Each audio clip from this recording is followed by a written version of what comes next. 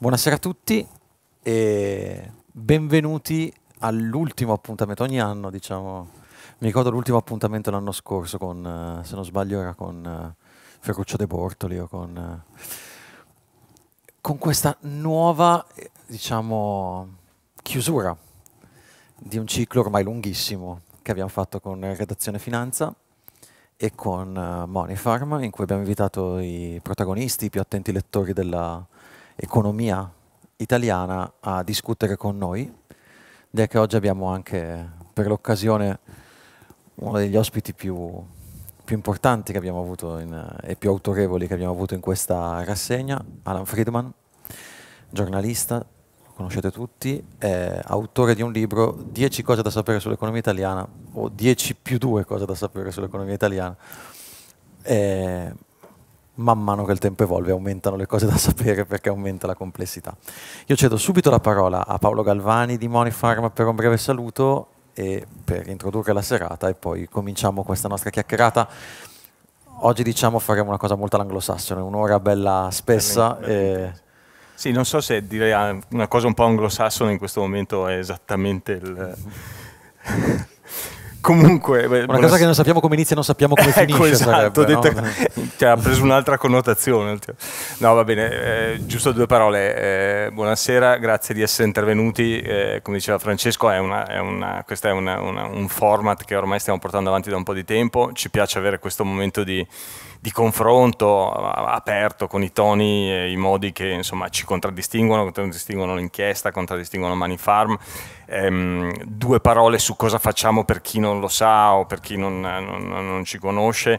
Di fatto noi eh, siamo un, uh, siamo un, un, un wealth manager, ovvero sia aiutiamo le persone a gestire i propri ris i risparmi.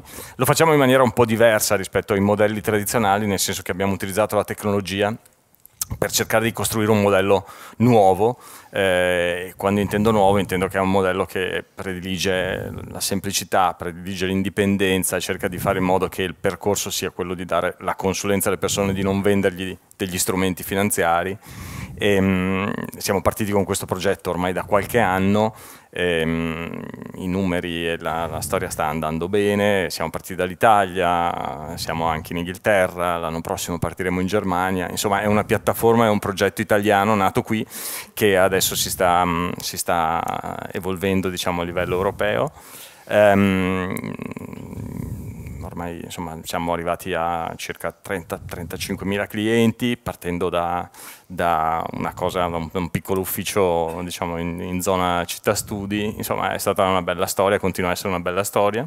Eh, in questo ambito ci piace l'educazione finanziaria, in generale parlare di finanza, parlare di economia è una parte importante di quello che facciamo e da lì che è nata poi la collaborazione con, con l'inchiesta di Francesco e tutto questo si colloca un po' in questo, in questo ambito. Um, quindi questo, è il, questo diciamo, è il, cappello, questo è quello che facciamo noi, questo è anche il, il piacere di essere qui questa sera e poter parlare diciamo, in maniera molto ampia di tutta una serie di temi di attualità eh, e principalmente di, di, di economia che riguardano l'Italia ma non solo. Quindi Francesco, a te.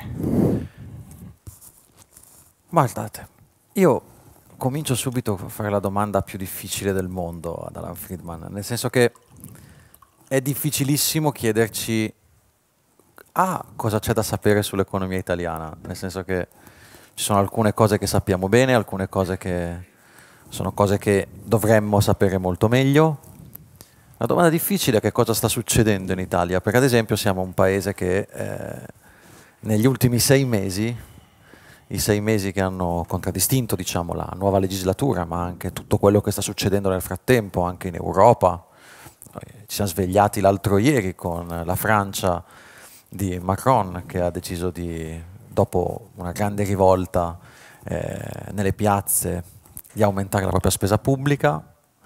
C'è Moscovici che oggi ha detto che la Francia può permettersela mentre l'Italia no c'è un sommovimento in Gran Bretagna con, con Brexit, ieri c'è stato anche fra l'altro un attentato prima della plenaria del, del Parlamento europeo a Strasburgo, insomma è un'Europa volatile, un'Europa che si muove, ma dentro questa eh, dinamica io mi ricordo un, un articolo dell'Economist di qualche mese fa che diceva mm, ci sono due rischi per l'Europa e due potenziali detonatori. Eravamo all'inizio del 2018.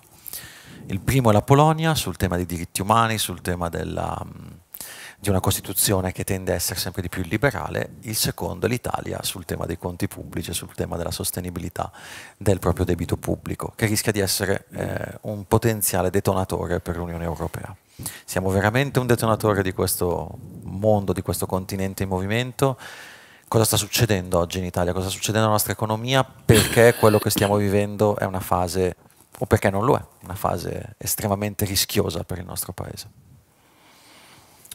Una bella domanda. Buonasera a tutti. Eh, io credo che, particolarmente per chi guarda questo dopo stasera eh, online, oggi è il 12 dicembre eh, del 2018 e stasera, il 12 dicembre, siamo eh, in un'Europa con tanti punti interrogativi, eh, con tante incertezze. Non a caso ho intitolato l'ultimo capitolo del, del mio eh, aggiornamento dell'edizione sul libro sull'economia, il titolo del capitolo è La certezza dell'incertezza, perché eh, le cose più strane stanno ancora per accadere, siamo soltanto a un antipasto di una uh, uh, serie di uh, macro tendenze in Europa e in tutto l'Occidente che hanno a che fare con la politica, hanno a che fare con la società, hanno a che fare con l'economia uh, e non si può più separare queste diverse discipline, diverse tendenze. Stasera in Gran Bretagna, fra poco, credo, fra pochi minuti comincerà la votazione alla Camera dei Comuni e Theresa May cercherà di salvare il suo um, posto di lavoro come primo ministro e probabilmente riuscirà a salvarlo uh, perché ha bisogno di 158 voti, probabilmente prenderà una maggioranza non uh, molto larga, ma riuscirà a sopravvivere, ma per poco tempo in Inghilterra, perché la Theresa May in Inghilterra, come la Angela Merkel in Germania, eh, eh, sta andando verso l'uscita della sua presenza nella politica eh, attiva. Eh, sarà un anno, sarà un anno e mezzo, sarà sei mesi, ma ehm, eh, non ci sarà più la Theresa May a un certo punto. E in effetti eh, lei ha mh, contro di lei populisti di destra o di destra estrema, nazionalisti demagoghi e anche eh, quando mettiamo nel eh, pacchetto l'ex ministro degli esteri Boris Johnson, anche, anche, qualche buffone, qualche imbecille, perché Boris Johnson, per chi lo conosce, eh, l'ho conosciuto da sindaco di Londra, eh, da giornalista al Spectator, eh, è un uomo molto intelligente e molto intellettualmente disonesto, proprio eh, molto disonesto. Però eh, la Theresa May è sconfitto da una rabbia e paura contro l'immigrazione che ha portato avanti eh, l'onda della Brexit. Um, in Francia Macron, per me, qualcuno dice qualcos'altro, per me Macron è stato sconfitto e uh, si è mostrato forse meno capace di quello che sembrava. Uh, non mi piacciono i paragoni fra Renzi e Macron anche se hanno in comune entrambi che eh, volevano lanciare una serie di riforme strutturali per l'economia necessarie, eh, che vuol dire mercato del lavoro più flessibile, riforme del fisco, riforme della burocrazia, sia in Francia sia in Italia, ma non sapevano come fare o si sono scontrati con la realtà di eh, tanti interessi molto forti che bloccavano queste riforme in entrambi i paesi.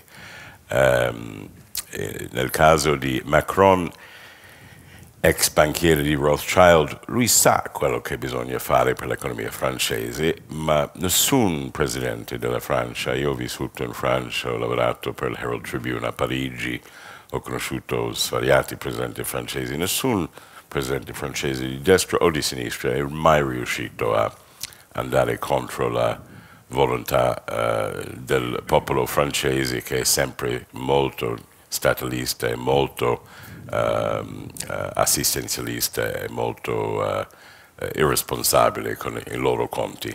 Spesso mh, mm, purtroppo diventa sempre più vero che eh, i popoli meritano i governi che eleggono uh, e sono veramente questi governi specchi dei popoli in diversi paesi in Europa e in America, che non è uh, una cosa così bella. Io ho twittato ieri che um, il fatto che Macron in Francia e Theresa May in Inghilterra sono stati sconfitti dai populisti e nazionalisti nel loro paese non significa che i populisti abbiano ragione, significa che sono riusciti a convincere il popolo, sfruttando il disagio sociale e economico, che ci sono delle eh, soluzioni molto facili a problemi molto complessi, mentre qui, qui sul pianeta Terra non ci sono. Germania, Merkel verso l'uscita, sembra più promettente il fatto che è riuscito a nominare un mini-me eh, una sua discipola, una sua allieva, eh, come il suo successore eh, in futuro nel partito CDU, ma anche in Germania, nazionalismo, un partito mh, mm, per la prima volta dopo Hitler che ha 90 seggi nel Parlamento del Bundestag e che rappresenta una forza nazionalista e abbastanza con tendenza verso il razzismo.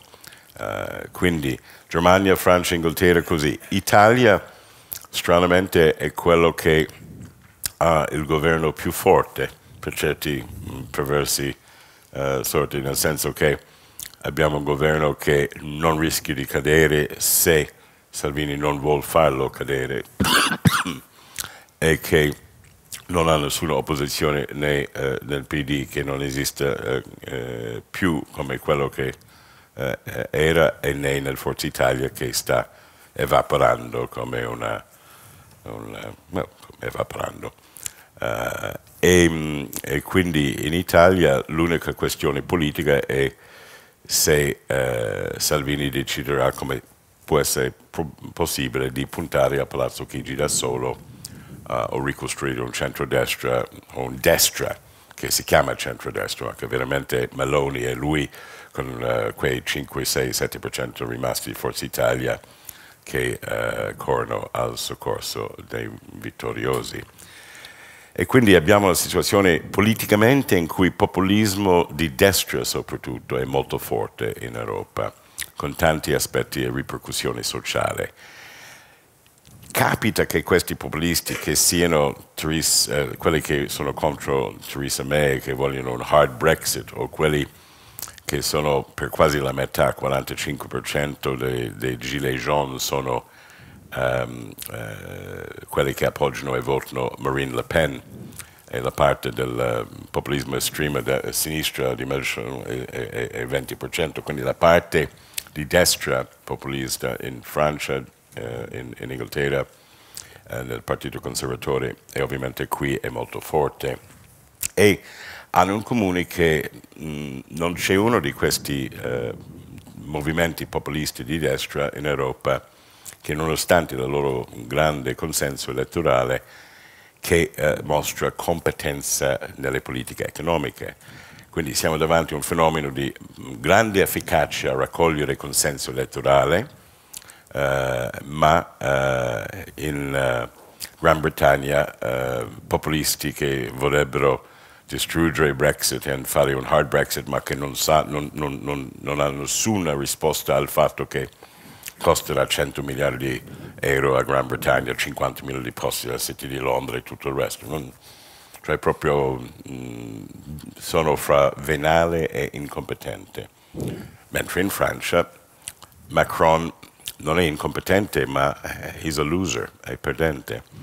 Eh, in Italia, eh, nel mio nuovo libro, mh, mm, cerco di spiegare che abbiamo il risultato e i rischi di una politica economica che è scritto per la metà di persone eh, eh cinici che vogliono solo distribuire a contentini lungo la strada verso il prossimo eh, voto eh, politico e quelli che non arrivano proprio, quelli, del 5 Stelle che sono veramente genuinamente, autenticamente incompetenti. Faccio una domanda relativa all'inizio, all'incipit del tuo libro. C'è una, tra l'altro l'abbiamo riprodotto anche sull'inchiesta, c'è una, una, un fake, una fake news, cioè un non è una fake news, in realtà è un è articolo di giornale. finanza. Esatto. È, un, è una... Io apro il libro con un, un, un articolo mh, mm, da 2020, da sei mesi dopo la partenza di Mario Draghi dalla Banca Centrale Europea, con un governo che per due anni è stato incompetente, quindi ci sta. Uh, e, e, parlo del rischio di, di un uh, crollo delle borse, crollo delle azioni delle banche, mancanza di capitale nei bilanci, uh, spread sopra 3 o 400. Quindi immaginavo quando ho scritto, ho scritto, quel capitolo quello come un rischio di 2020. Continuo a vedere quello come un, un, un rischio perché Italia è un paese che grazie al debito di 2.300 miliardi uh, e la mancanza di competenza nella gestione dell'economia in questo momento rischia costantemente, ogni giorno, ogni, ogni, uh, ogni mese, uh, una tempesta perfetta. Vedremo, stiamo parlando stasera, ho detto è, è una serata di punti interrogativi. Mm, Theresa May vincerà promettendo di andarsene fra sei mesi e questo cosa vuol dire per la politica economica. Macron non riuscirà a accontentare i gilet jaune, ci sarà più violenza per le strade di Parigi e più incertezze per gli investitori in Francia. Um, il um, notaio um, che è andato a incontrare Juncker, Conte. Giuseppe Conte, scusami, l'usciere, eh, che, che, è andato a, a, a, svolgere il ruolo di, di messaggeria musicale a, a Strasburgo uh, senza poteri, perché ci sono due grandi figure nel governo attuale che eh, se fossero qui e non fossero imbarazzati e dicessero la verità e tu chiedessi a Giovanni Tria o a Giuseppe Conte quanto potere decisionale ce l'ha sulle politiche economiche, se Giovanni Tria o Giuseppe Conte dicesse più di zero, eh, mentirebbero. C'è una collega ha parlato di vicepresidenzialismo parlando dell'Italia. Io però vado a un punto abbastanza dirimente di quella che è, e, fra l'altro abbastanza poco, eh, poco affrontato, che questa ipotesi che è ventilata nei giorni delle tempeste perfette, in qualche modo di eh, quasi un prestito alla patria, cioè dire agli italiani vi, vi prendiamo dei soldi, vi diamo dei BTP io non, più che parlare di questo, vorrei parlare di un altro aspetto, diciamo, della politica economica che viene avanti, quella in qualche modo della politica che si intromette nella gestione della finanza. Si intromette decidendo più o meno quali che sono le fusioni bancarie da fare, le, le, abbiamo visto la, una commissione banche alla scorsa legislatura che ha dato più o meno diciamo, eh, il, il senso dell'ingerenza politica dentro questa, Pr- questa Prima di passare alle banche di ingerenza, posso concludere poi, sì, sì. il pensiero sull'Europa che volevo sì. arrivare a dire, se non ho comunicato, non solo c'è molta incertezza e questa politica è, cioè questa politica molto nazionalista e protezionista è, è un problema assieme con l'incompetenza economica, ma io sono preoccupato sull'effetto sui diritti della democrazia in Italia, Francia, Germania e, e, e, e, che cominciano nel tempo a spostarsi verso il modello di Ungheria, perché credo che c'è un rischio in tutta l'Europa di una crescita, non di democrazia illiberale in tutti i paesi, ma di tendenze di democrazia illiberale. E se i gilets jaunes, forse lo dico in modo molto più crudo e provocatorio, se i gilet jaune in Francia per me significa che siamo in Francia in 1789, io vorrei sperare che in Italia non siamo a 1922. Però mi riallaccio su questa domanda perché la cosa di cui volevo parlare è l'ingerenza dello Stato, le politiche nazionaliste sono molto spesso anche stataliste, nelle scelte finanziarie dei cittadini. Secondo la vulgata, diciamo, trasferendo in ambito finanziario quello che si è detto in ambito di politica economica, siamo in una fase neodirigista, siamo in una fase in cui statalista, statalista uh-huh. del, dell'economia, siamo in una fase in cui in qualche modo le scelte, le scelte finanziarie anche dei cittadini sono in qualche modo ingerite, sono in qualche modo appesantite. Sono scelte che puniscono gli imprenditori che in teoria dovrebbero creare lavoro. Sì.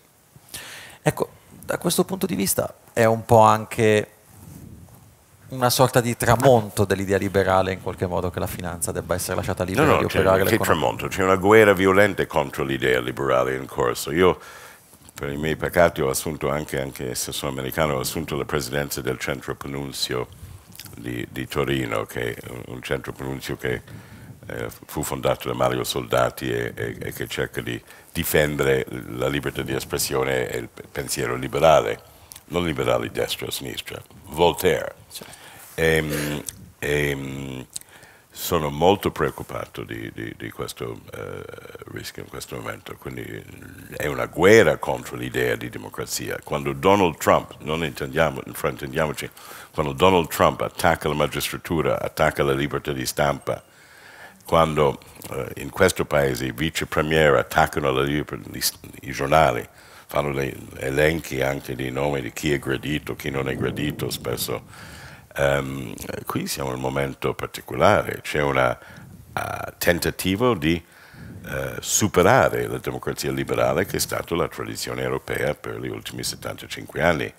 In America io credo ci sarà un rigurgito contro questo e nel 2020 noi americani mostreremo che il nostro sistema è forte, la nostra Costituzione è forte e uh, nessuno è, è, è, è sopra le, le leggi.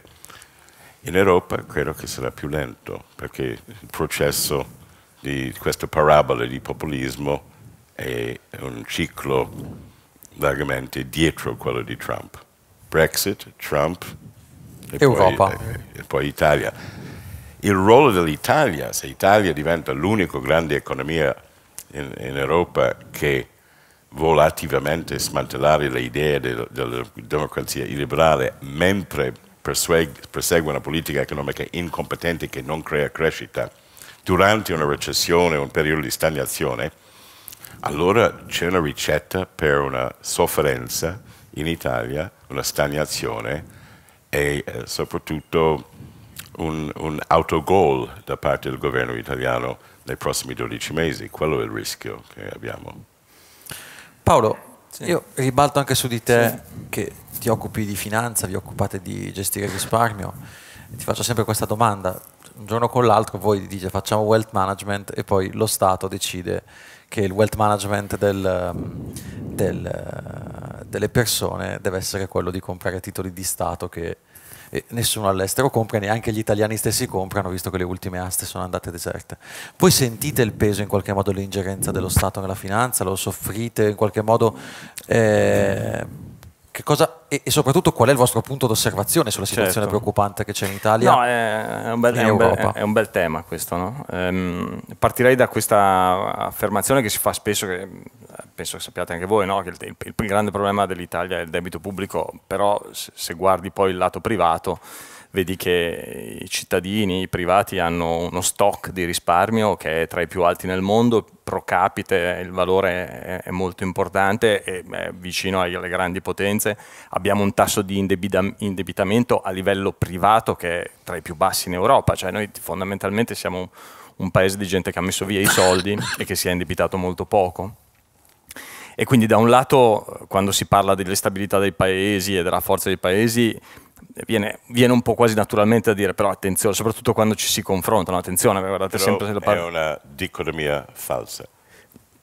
Prego. No, no, uh, elabori. I ristoranti sono pieni, no, no. è un paese ricco, abbiamo no, 4.000, eh, 3.800 miliardi di patrimonio finanziario uh -huh. contro il debito di 2-3, se mettiamo insieme... No, ma infatti era quello cioè, che... Questo argomento no, non, son, ci, so, non, sta in piedi. Sono d'accordo. Ah, ok. Era quello che volevo dire, cioè da una parte viene quasi per un senso di, di patriottismo, chiamiamolo, no? fare questo ragionamento dimostrando una certa stabilità complessiva del sistema, però dall'altro è molto pericoloso questo ragionamento perché presuppone che il risparmio privato e quello che i cittadini hanno messo da parte, hanno costruito, sia in qualche modo assimilabile al, al, al valore complessivo dello Stato. E qui si torna al tema che dici tu, cioè questo vorrebbe dire che in qualche modo lo Stato a un certo punto arriva e, e dice va bene, il 10%, il 20% lo mettiamo a servizio della, della comunità, quando io in realtà il servizio della comunità l'ho già ampiamente pagato e sappiamo tutti benissimo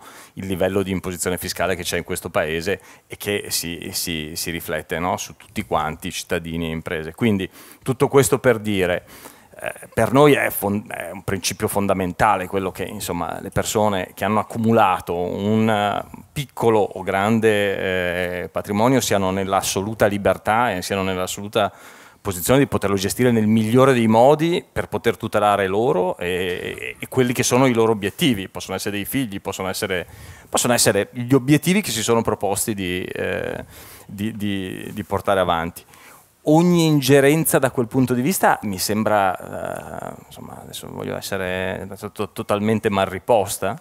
Però faccio una domanda, alla fine c'è una piccola ingerenza che c'è già, ad esempio, faccio un esempio dei peer, i peer sono una, Beh, una realtà ai piani. Lo Stato ha tanti modi no? per poter in qualche modo incentivare o indirizzare eh, il, il risparmio. E attenzione, anche qui bisogna stare attenti perché secondo me ci sono alcune azioni dove eh, lo Stato può in qualche modo agire in maniera costruttiva, no? c'è questa teoria del nudging, eh, cioè che nudge in, inglese vuol dire... Eh, la spinta gentile. La spinta gentile, no? e quindi in, negli Stati Uniti il, tutti i plan uh, for one, che sono tutti eh, piani, pensionistici individuali, in qualche modo hanno ricevuto una, una spinta gentile eh, per far sì che le persone incominciassero ad accumulare per la pensione individuale dove si è cercato con, delle, con, degli accorgimenti di far sì che le persone, cose banali tipo sei già diciamo enroll dentro un piano pensionistico, se non vuoi farlo togliti, eh, già questo fatto faceva sì che le persone di default incominciassero a accumulare no? eh, piano pensionistico. Allora eh, ci sono una serie di azioni che in qualche modo ritengo possano anche essere eh, interessanti. Il tema del PIR è un altro di quelli che dal punto di vista del principio non è poi così sbagliato, cioè cerchiamo di creare dei meccanismi che incentivano attraverso il risparmio un utilizzo diretto del risparmio su un sistema economico ehm, un sistema economico di paese dove se le persone sono interessate a investire su attività diciamo, imprenditoriali del paese ricevono da parte dello Stato dei benefici di carattere fiscale. Non siamo noi i primi a inventarla questa cosa, gli inglesi lo fanno un sacco di tempo, i francesi lo fanno un sacco di tempo, quindi da un certo punto di vista il principio per cui una piccola percentuale del patrimonio delle persone a loro scelta eh, possa essere in qualche modo indirizzato in un modello di questo tipo, di per sé non mi sembra, non mi sembra sbagliato. Il problema è il percorso dire, che poi tutta questa cosa eh, comporta, ovvero sia eh, sono stati a quel punto costruiti dei prodotti che hanno delle commissioni altissime. E quindi cosa succede? Succede che le persone si ritrovano a investire in prodotti che sulla base del beneficio fiscale hanno però di fatto un costo in quanto prodotto costituito in un certo modo che è molto più grande del, del beneficio fiscale che può essere generato, o almeno cioè, quello è il rischio. No? Però Paolo hai, fatto, hai, detto una parola magica che voglio subito girare a, a Friedman, che è il tema pensioni. Io ho letto recentemente mi è capitato, perché quando uno va a scavare nei siti internet dei vari ministeri trova cose interessanti. Un rapporto del MEF, del Ministero dell'Economia e delle Finanze, del 2017 che faceva vedere l'aumento della spesa pensionistica sul PIL in Italia a legislazione vigente, quindi ancora con la legge Fornero, per ora non ancora modificata da quota 100, ma rimasta, era il 2017, quindi non avevamo diciamo, nessun, nessuna, neanche nessuna avvisaglia che la legge Fornero venisse cambiata. Oggi le pensioni pesano circa il 15% del PIL, 15-16%. Nel 2045, che è il punto di picco della spesa pensionistica in Italia, cioè quando tutti i baby boomer saranno andati in pensione e, diciamo, non voglio dire nel modo più delicato possibile, eh, non si, sono ancora ridotti, quindi col massimo dei baby boomer in pensione, noi avremo una spesa per le pensioni nel 2045 del 18% del PIL. Quindi a legislazione vigente con la Fornero, a causa del eh, diciamo, passaggio dei baby boomer, della corte dei baby boomer, dalla eh, vita lavorativa alla vita pensionistica, alla vita non attiva, diciamo, e eh, con una demografia bassa come quella italiana, altro problema, e uno, um, dai livelli occupazionali molto inferiori, con retribuzioni inferiori e molto più frammentati, noi avremo una spesa pensionistica che raggiungerà il 18% del PIL, molta della quale è coperta dalla fiscalità generale, quindi immaginiamo tasse che crescono, e lo stesso Ministero dell'Economia e delle Finanze dice ci saranno meno soldi per la scuola e meno soldi anche per la sanità e soprattutto, dico io, una capacità di muoversi sul famoso sentiero stretto dell'economia italiana, cioè quello che deve in qualche modo sostenere la crescita ma allo stesso tempo non fare crescere il debito, ancora peggiore di quello attuale. E oggi si dice addirittura di smontare la legge Fornero con quota 100 diciamo, a regime, 13 miliardi lordi il primo anno e poi 20 miliardi negli anni a venire, noi parliamo di una spesa pensionistica sul PIL che proiettata al 2045 porta la spesa a oltre il 20% del PIL. Ora, la domanda che faccio a Friedman è noi sappiamo, abbiamo l'orizzonte, ce l'ha il Ministero dell'Economia e delle Finanze, se guarda in avanti, di un sentiero che si restringe sempre di più. Come, si può invertire la rotta? Come questo Moloch, che poi è il vero elefante nel, nel, nel soggiorno dell'economia italiana, de, del bilancio italiano, cioè una spesa eh, pubblica, una spesa assistenziale pesantemente diciamo, eh, sul tema delle pensioni può essere invertita come rotta? Quali sono le ricette che servono all'economia italiana e soprattutto alla spesa pubblica italiana, al decisore, a chi fa le policy in Italia per provare a invertire la rotta? Prima dicevamo Macron ha le risposte giuste, ma quali sono le risposte giuste per l'Italia? Un commento sulle pensioni? Bene, ma mm, siccome non ho potuto rispondere sulla tua domanda su uh, quello che è stato discusso prima, preferisco sì, sì. fare un passo indietro. Però. Io non temo che Giuliano Amato torna nel buio della notte a mettere la sua mano nella tua tasca uh, quest'anno. Io non credo che questo governo mh, mm, che deve vincere elezione, elezione, elezione, perché c'è campagna elettorale permanente, si permetta di fare una patrimoniale. Eh, certamente alcune delle dichiarazioni, sia del cinico sia del neofito, per dare, no? uh -huh. eh, che, che, parlano di come si può eh, chiedere una, un aiuto, una mano dagli italiani, fanno paura, perché um, mostrano sia un'incomprensione uh, o un cinismo della politica economica, uh, sia una volontà di uh, non solo ingannare il pubblico, ma poi sfruttare il pubblico una volta ingannato. Ma um, non credo che accadrà questo. Credo che i veri rischi qui sono che per i conti pubblici, per le pensioni, per, per il dirigismo che c'è, perché non abbiamo analizzato bene prima quello che Francesco ha voluto capire. Tu hai voluto parlare di statalismo e, e dirigismo, è tutto da un pezzo di incompetenza nella politica economica, che sia pensioni o sia uh, dirigismo.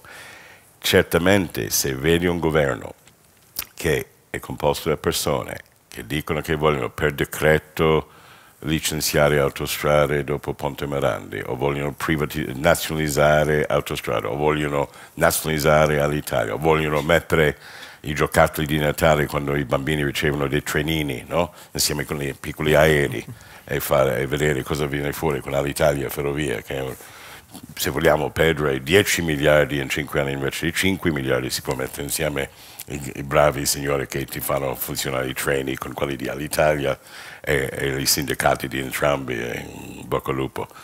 Um, invece queste cose irresponsabili, incompetenti, eh, dirigiste, stataliste, che ci, antistorici, che ci portano indietro 30, 40, 50 anni, stanno accadendo.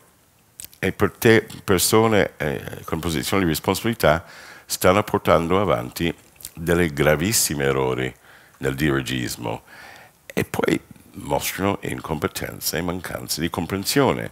Se tu dici, guarda, per ogni persona che con la quota 100 noi mandiamo in pensione a 62 o 63 anni, arrivano tre nuovi giovani per lo stesso costo di quel mm, stipendio e come fai a sapere questo?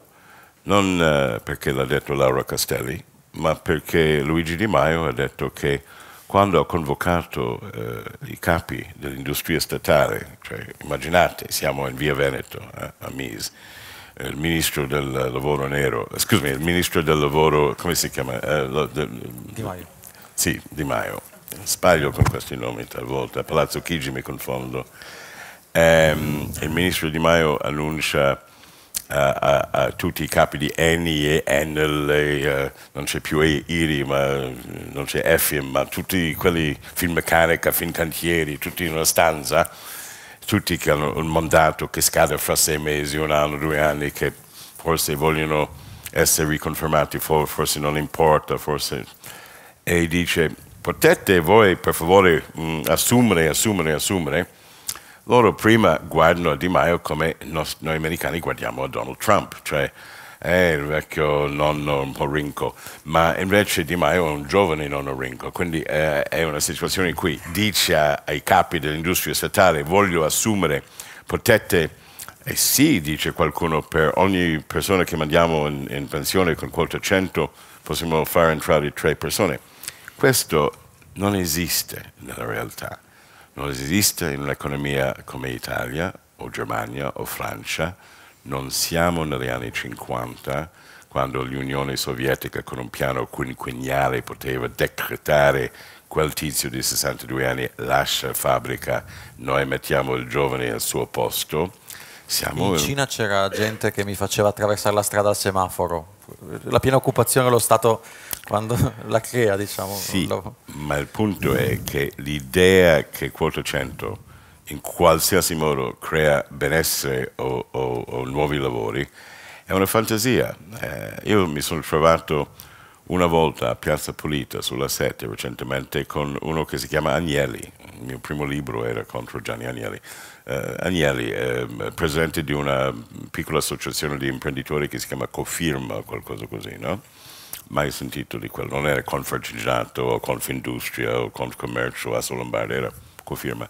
È, è l'unico grillino che ho, mai eh, incontrato che, che, fa industriale, eh, perché ha detto sì, io posso assumere eh, le persone che mandano in pensione. La maggior parte delle piccole imprese non hanno l'introiti, la domanda interna è troppo fievole, non girano i quattrini e quindi se qualcuno va in pensione spesso è una riduzione dei costi fissi, un'opportunità di fare risparmi perché non c'è abbastanza introiti eh, per giustificare l'assunzione. Quindi tutte le premesse, che sia la filosofia di questo si quota 100, che sia disfare la riforma Fornero è la soluzione, disfare la Jobs Act è la soluzione, rendere il mercato del lavoro meno flessibile è la soluzione. Stiamo parlando ludisti, non so se in italiano conoscete nell'Inghilterra noi diciamo Luddites, quelli che nel Settecento e Ottocento erano contrari alla rivoluzione industriale, volevano bloccare il progresso.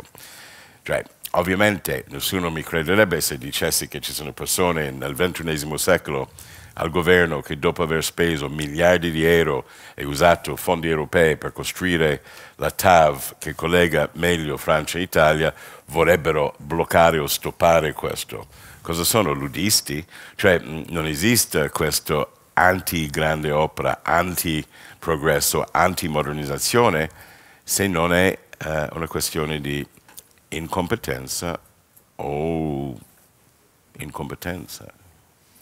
Torniamo alle pensioni. Ma ho detto, ho risposto sulle pensioni. Quota 100 eh, e, e disfare la riforma Fornero è un errore. La, la legge Fornero era quello giusto per l'Italia nel 2012, 11-12. Piace o meno, la legge Fornero era necessario a completare sette grandi riforme che cominciò con Amato e Dini negli anni 90. La legge Fornero aveva delle inequità sulle donne e su esodati che riguardavano, in caso di esodati, bacini di 15 o 20 mila italiani, non milioni. Eh? Eh, e quindi il governo Gentiloni, il migliore governo per la politica economica che l'Italia ha visto negli ultimi vent'anni, il governo Gentiloni, che su quel sentiero stretto ha portato av avanti con responsabilità e progresso l'economia italiana, il governo Gentiloni ha affrontato i problemi delle, con aggiustamenti per il vaccino degli esodati, ha cercato di migliorare l'uguaglianza fra le donne, non, non abbastanza, fra uomini e donne, e, e, e, si è fatto qualcosa per i giovani. Cioè, disfare il Jobs Act e, e la riforma delle pensioni di Fornero è una scemenza, è un uh, autogol, è un uh, suicidio, è una, è, una, è una, mossa politica che eh, danneggia l'economia. Un'altra domanda sul tema pensioni che mi interessa molto. Ho letto una, qualche tempo fa un dato che mi ha sorpreso. Capisci che come dico non è sui decimali il problema sì, di sì. 2-1, non è su come si fa il quota 100, è, un inganno eh, non aiuta, è un fregatura delle prossime generazioni, dei figli e nipoti.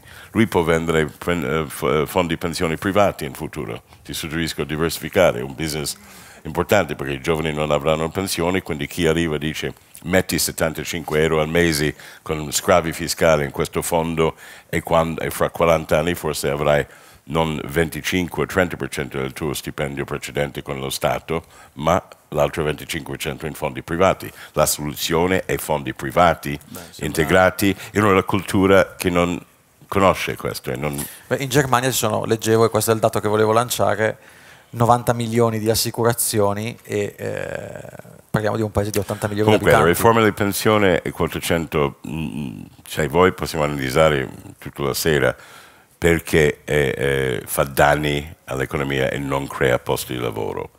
Si può analizzarlo se vuoi in, in micro, eh, ho già scritto su questo. Cioè. No, era giusto una nota che sembrava eh, preparata, non lo è. In realtà lo stiamo proprio facendo. Bene, uh, cioè, l'anno prossimo uh, costruiremo proprio un prodotto pensionistico Siete individuale. in ritardo? No? Da quanti anni esiste ah no, da 5, 6. Allora ok, siete in orario. Ma, Però ma, ma che... in Italia no, eh, i sindacati prima hanno preso i pensioni integrati e l'hanno strumentalizzati in giochi di potere. Sì.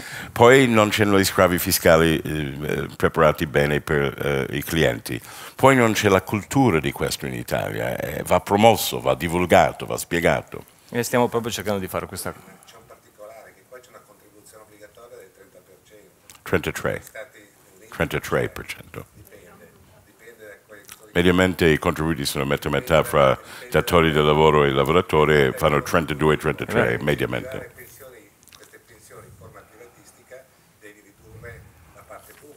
Se lei, se lei, se lei, sono d'accordissimo, se lei andasse indietro al 2014 in un libro che si chiamava Ammassiamo il gatto pardo avevo uh, suggerito una formula di opting out, ho suggerito una formula di detassazione dei contributi per chi usava i fondi privati, è chiaro che ci deve essere qualche modo di compensare questo, non si può solo aggiungerlo, ma questi sono motivi di usare sgravi fiscali e incentivi fiscali.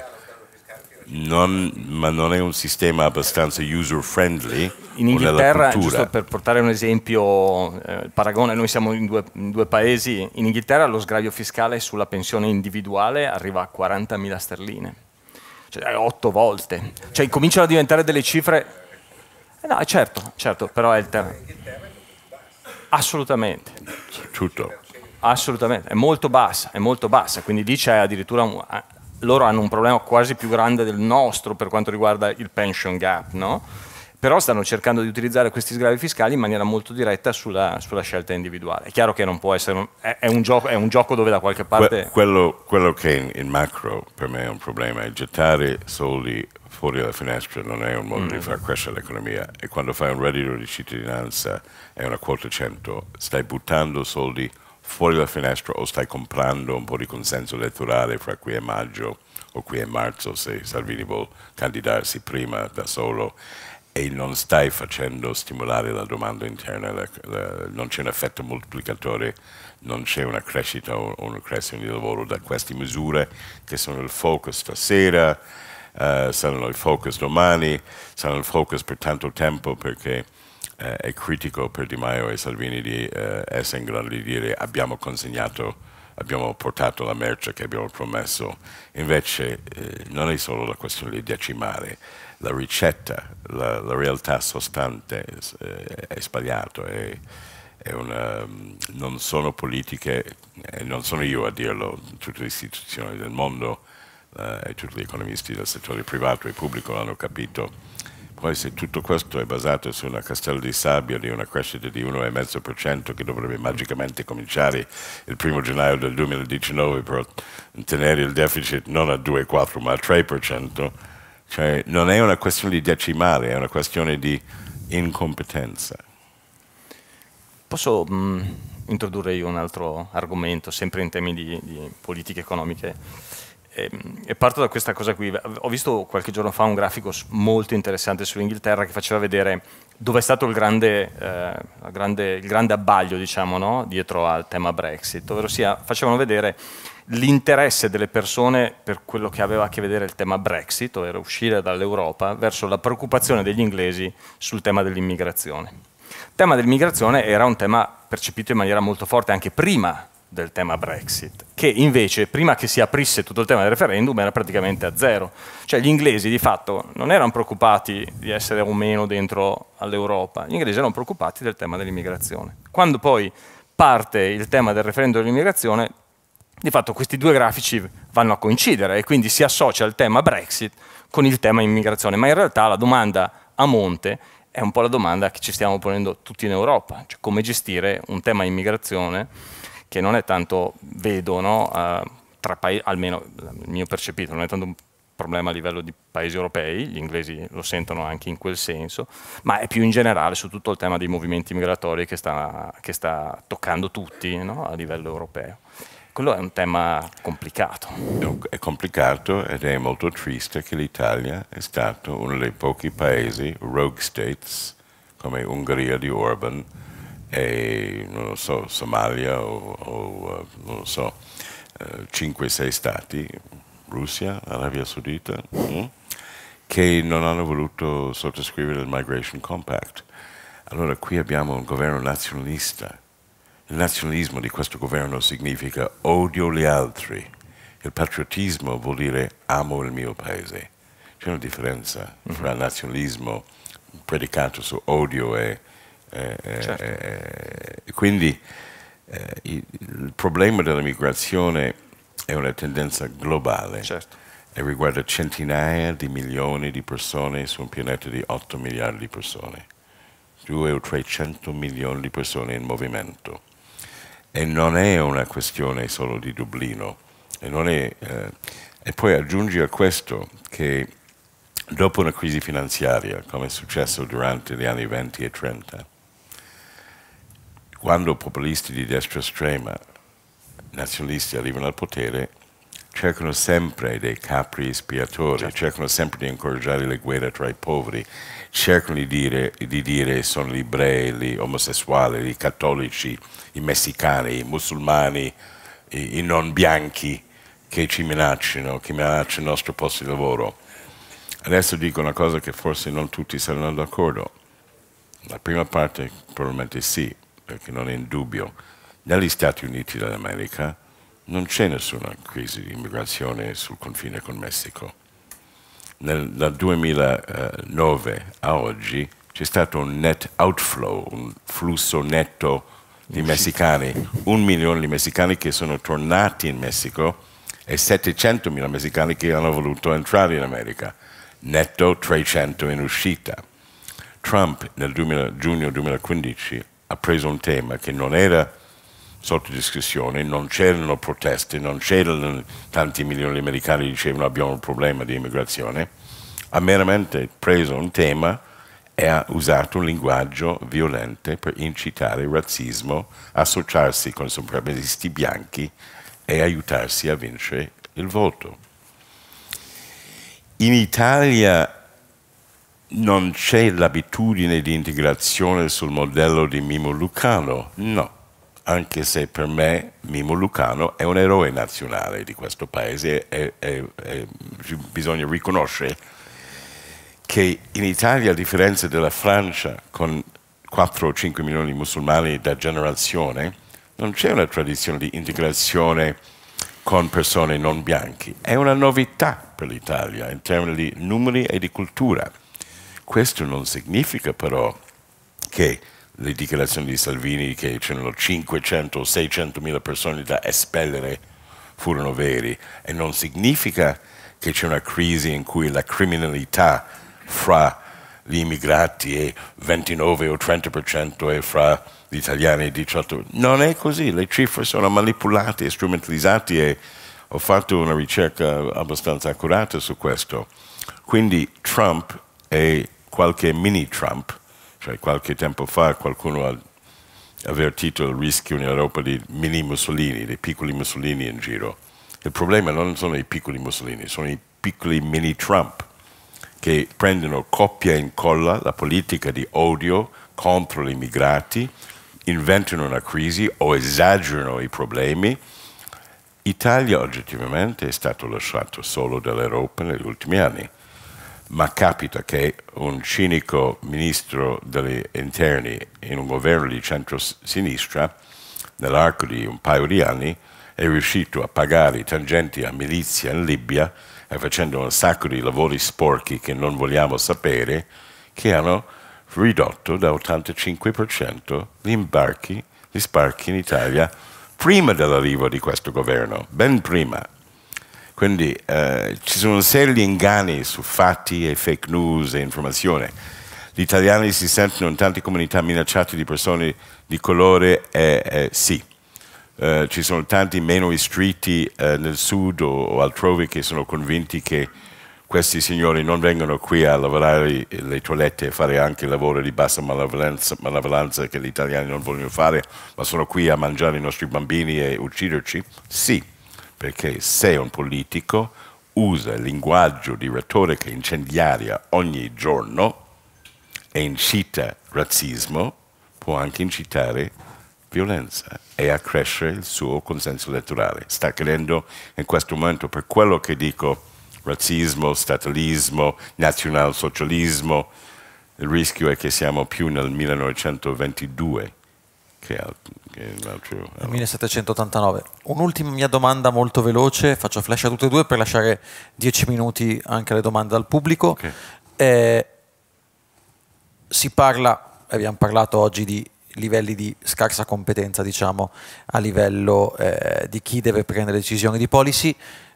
Va detto che diciamo, il governo è un po' lo specchio del paese che è. In Italia è dal 2008 che lo diciamo, anche prima che abbiamo degli scarsi livelli di educazione finanziaria, parliamo di un paese che, eh, questo me lo diceva, l'ho letto una ricerca in cui una buona parte, qualche diciamo, eh, si conta in eh, decine di per cento, quindi 20-30% della popolazione che non sa neanche leggere il significato di una percentuale. 28%, 28%. analfabeto in, in, Italia e il numero di italiani laureati 18%, meno di 20%, meno della metà della media Fra europea. Fatto il terzo ultimo paese OX su questo. Eh, c'è bisogno anche per quanto riguarda le scelte di investimento privato, le scelte degli elettori in una democrazia importante e l'economia e la finanza sono temi sempre più rilevanti dentro, eh, dentro le scelte decisionali degli elettori insomma, detta in poche parole, bisognerebbe insegnare un po' più di educazione economica e finanziaria nelle scuole, bisognerebbe fare più divulgazione di determinate materie, cercare di fare in modo che le persone ne sappiano di più, perché la sensazione è molte volte che prevalga lo storytelling rispetto ai numeri, rispetto a quella che è la cronaca i numeri che parlano e che parlano in modo inequivocabile su alcune, eh, su alcune diciamo, situazioni in Italia. Io mi sono ritrovato e mi ritrovo tutti i giorni a commentare articoli che scrivo in cui la gente mi parla di Germania che alza lo spread, cioè cose di questo tipo che sono un pochino diciamo se lo dice surreali. Lei. Cioè, se lo dice lei ovviamente, poi il tono è questo. È una domanda? E la domanda è questa servirebbe un po' più di educazione finanziaria in questo paese. Cioè, questo paese ha un problema di educazione finanziaria, indipendentemente dai vertici, ma proprio in generale. Questo non voglio fare una marchetta, ma ho scritto un libro proprio per questo motivo. Eh, Anche, sì, e l'idea mia era... Eh, il libro è lì peraltro, così faccio io la marca. No, lasci stare. Il, il, libro è il libro più pop che abbia mai scritto, nel senso che non è una saggistica stile molto ponderoso, è, è un manuale eh, di economia che spiega cosa è il debito, come funzionano le banche, come funziona lo spread, eh, come saranno le cose con le pensioni, quali sono i benefici e i pregi e difetti dell'euro, dove stiamo andando e, e, e, quale può essere una ricetta migliore per l'economia, per creare lavoro. Um, nel libro ho fatto un sondaggio con Nando Paglioncelli di Ipsos e abbiamo scoperto che 60% degli italiani proprio confessano di avere una conoscenza molto approssimativa con l'economia, altri 20% quasi niente, e 20% sono i tuoi clienti, um, eh, che sono quelli che leggono i giornali. Siamo nel paese in cui solo 3 milioni su 60 leggono giornali e libri. 3 milioni di italiani, 5% della popolazione nazionale compra un giornale o legge un libro una volta all'anno, 3 milioni su 60. Poi qualcuno dice, è nel tuo paese? E io sarei costretto a ammettere che in America è anche, non solo le cifre, ma sicuramente anche una piccola minoranza di intelligenza. Però se noi abbiamo una minoranza di 5%, per noi vuol dire 60 milioni di americani. Uh, che, che, che uh, no, non vuol dire 60 milioni, vuol dire no, no, 15 milioni, 15 milioni su 300, ma il problema è questo anche, eh, potremmo finire eh, imitando Romano Prodi che parla sempre di scuola e università, perché alla fine uno dei problemi di base con l'economia italiana è che la scuola e l'università non sembra adatto per l'Italia del XXI secolo, non sembra adatto per preparare le nuove generazioni per un'economia digitale, non sembra adatto mm, per la meritocrazia neppure fra i professori stessi, che sembrano dei burocrati che tengono fino all'ultimo uh, respiro il loro uh, posto e, e, non sono molto intellettualmente curiosi o, o, aperti o flessibili. Tanti sono i problemi, ma mm, se posso chiudere con un, uh, un non un lieto fine, ma un'osservazione un pochettino più forse filosofico e positivo per il futuro. Um, chiudo questa nuova edizione del libro con una citazione di Abramo Lincoln uh, che ha detto si può ingannare tutti un po' di tempo, per un po' di tempo, si può ingannare un po' di gente per sempre, ma non si può ingannare tutti per sempre. Quindi prima o poi la vera risposta alla tua osservazione è che in Italia gli italiani sono per la metà vittime e per l'altra metà complici nel loro destino collettivo. E sì, purtroppo se 70, 60 o 62% degli italiani appoggiano Di Maio e Salvini, meritano tutto che Di Maio e Salvini faranno, perché eh, eh, avranno votato e sostenuto loro.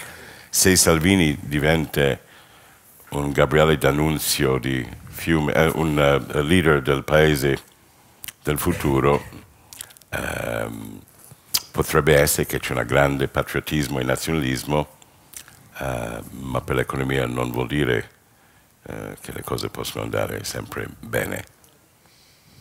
Un paio di domande al pubblico o volevi aggiungere qualcosa tu Paolo? No, ma solo una nota, diciamo, io ritorno solo al, al tema del della, dire, più in generale del risparmio e della, della, della, dell'educazione finanziaria, anch'io vorrei insomma, aggiungere una nota positiva.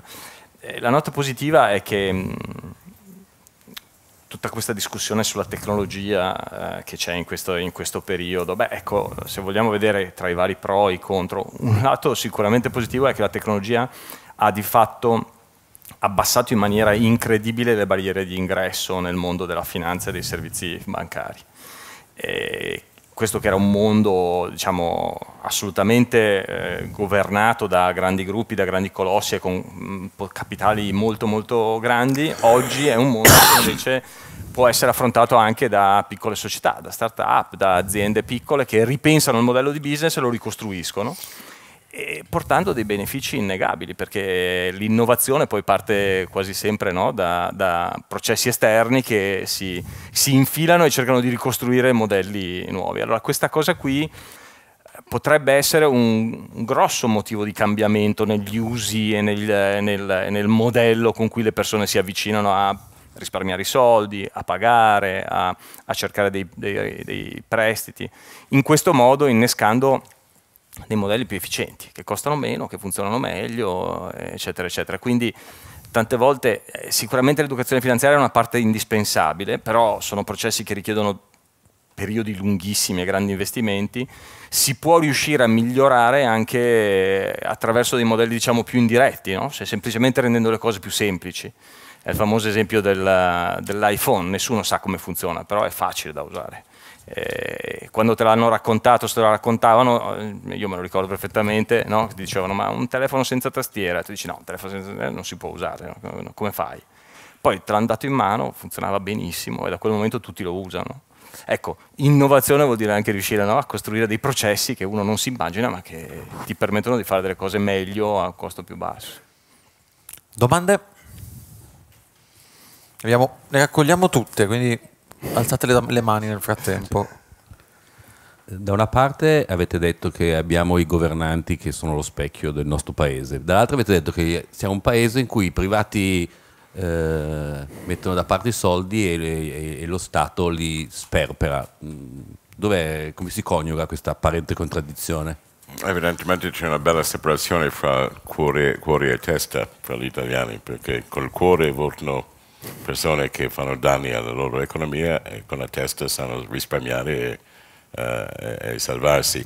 Non è un grande paradosso alla fine la mia osservazione dell'Italia è che per generazioni, generazioni imprenditori italiani hanno imparato, quando sono venuto qui per la prima volta negli anni Ottanta, per il Financial Times, e c'è il pentapartito, non è che... Eh, cioè, gli imprenditori eh, hanno sempre dovuto in Italia, o spesso, eh, andare avanti nonostante il governo e nonostante le rotte come si dice, le rotte, i bastoni nelle...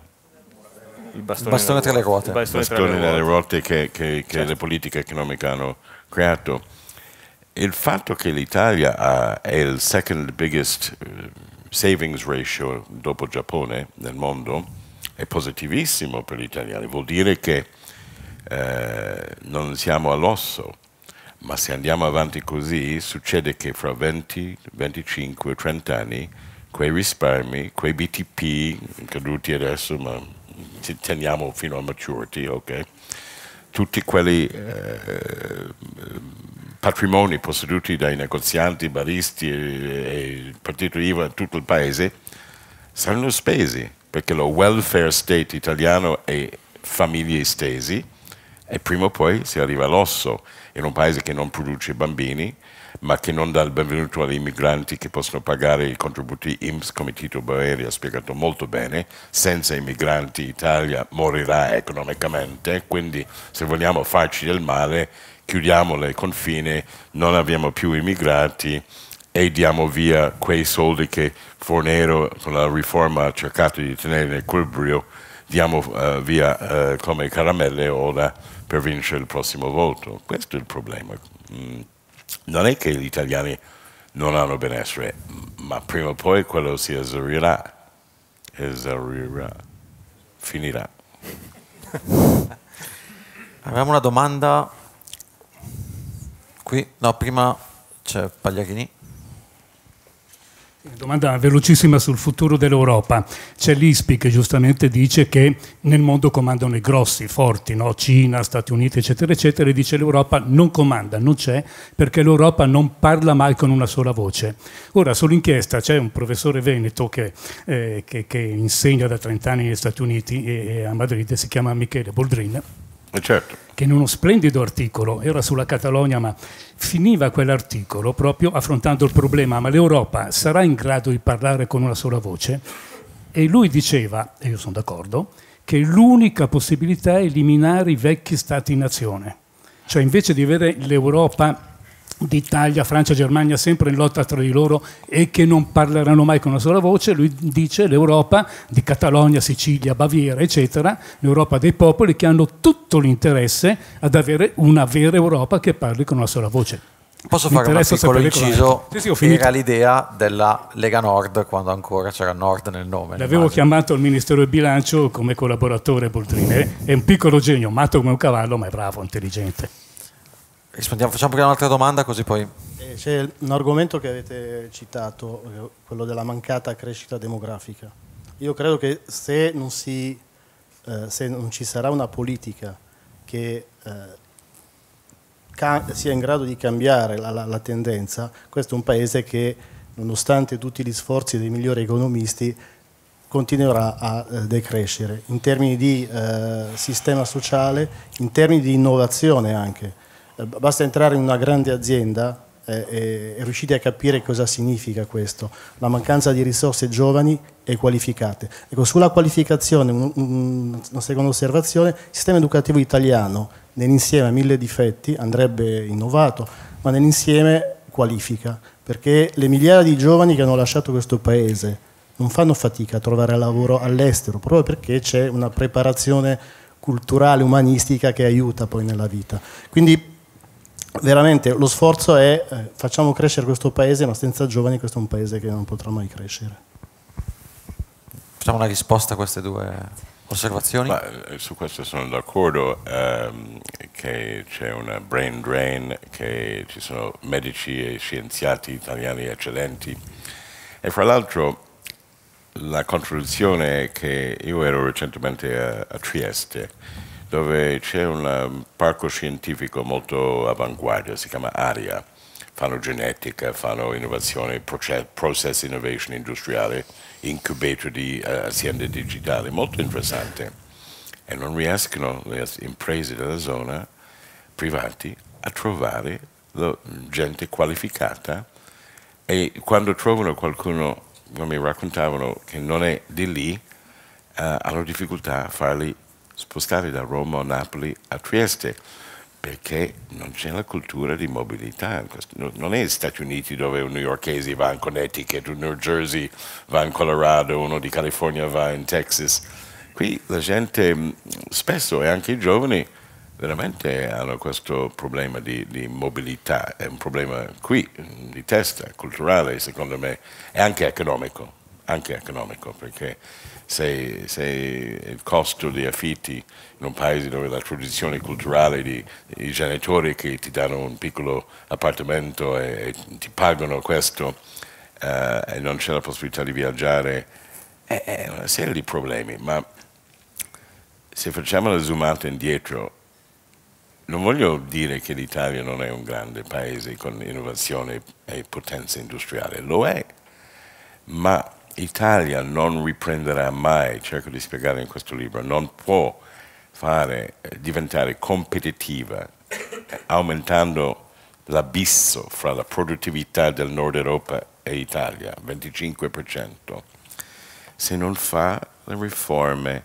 politicamente impopolari che Renzi ha cercato di fare male, ha fatto la metà della metà delle cose che ha promesso, è stato arrogante, antipatico, è diventato un democristiano squallido, si è andato a letto con Dennis Verdini. Signori, chi andrebbe a letto con Dennis Verdini? Eh, Matteo Renzi. Lascia stare il patto del Nazareno, ha fatto il patto del macellaio.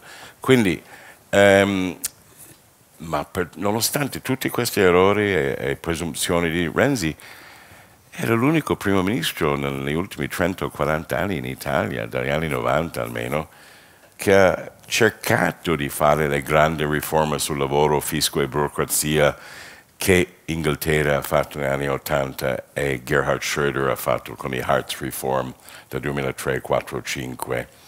E il problema che nessun politico italiano vuole raccontare all'elettorato è che per modernizzare l'economia ci vuole 5 o 10 anni di sofferenza in alcune zone del paese, trattamento erratico, una difficoltà enorme di creare ammortizzatori economici e sociali per quelle zone, nel caso di Gran Bretagna, di Galles, dove i minatori soffrivano, erano distrutti intere province senza lavoro e dovevano ricominciare il Greenfield da capo. L'Italia non è un paese evidentemente dove si può avere una solidarietà nazionale che dice ok, stiamo per fare una serie di riforme, sarà un po' duro, non tutti vinceranno, anzi sembrerà squilibrato il risultato, le disuguaglianze di reddito non saranno messe a posto per 5-10 anni, ma dopo saremo competitivi, avremo più occupazione e più crescita. Cerchi di vendere quello a, un popolo, è difficilissimo, anche se quello per me è la realtà eh, che non arriveremo a vedere presto. Io volevo soltanto fare un brevissimo commento sul tema della qualificazione dei ragazzi in Italia, perché invece io sono un pochino meno ottimista. Um, porto un piccolo esempio che è il nostro, no? come un'azienda, adesso siamo circa 90 e le faccio soltanto un esempio su, un, su, delle posizioni che abbiamo aperte noi. Noi siamo un'azienda che si occupa di finanza, di tecnologia, noi abbiamo il 40% delle persone che lavorano con noi, di più che sono di fatto degli ingegneri informatici, eccetera. Noi siamo strutturalmente alla ricerca di persone che sappiano programmare. Cioè noi abbiamo costantemente, da quando siamo partiti, posizioni aperte, sempre e comunque sull'ambito della tecnologia e non riusciamo a riempirle. Abbiamo messo fuori una posizione per un legal counsel, cioè un avvocato che ci desse una mano, perché dopo un po' di tempo abbiamo bisogno, in una settimana mi sono arrivati 400 curriculum c'è qualcosa che non funziona. Eh, c'è qualcosa che non funziona perché io cioè, avessi avuto la stessa propensione a, a, a, dire, a lavori che hanno a che vedere in qualche modo con la tecnologia, cioè, non ne avrei assunti 400, però 30 ne avrei assunti. E io su quei 400 avvocati ne ho preso poi alla fine uno. Siamo... Quindi eh, c'è, un tema, c'è, un tema, ed è un tema complesso da gestire, no? perché vuol dire reindirizzare un certo modo di studiare, vuol dire è quello che dice lei, è vero che ci sono un sacco di bravi italiani che vanno all'estero, però sono quelli bravi che vanno, che vanno all'estero no? e quindi io poi a Londra mi ritrovo a assumere a Londra degli italiani che sono lì. Ah, dici, ma eh, perché sei andato via? Eh, perché roba... Perché la, la... E a proposito di tempo tiranno, direi che il nostro tempo a disposizione è scaduto per questa serata. Il nostro tempo a livello di anno è scaduto con redazione finanza, io vi auguro, intanto ringrazio Monifarm per il sostegno che ci ha dato, ringrazio Clubhouse Brera per questa bella partnership anche a livello di location che ci consente di fare degli eventi sempre partecipati e belli, ringrazio tutti voi e vi auguro buone feste, ovviamente un felice 2019, ci rivediamo l'anno prossimo con redazione finanza, grazie a tutti, buona serata.